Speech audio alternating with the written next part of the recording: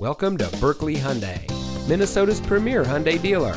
And here's a look at another one of our great vehicles from our inventory and comes equipped with heated door mirrors, steering wheel controls, Sirius XM satellite radio, roof rack, third row seating, fully automatic headlights, dual front side impact airbags, alloy wheels, heated front seats, rear spoiler, and has less than 85,000 miles on the odometer.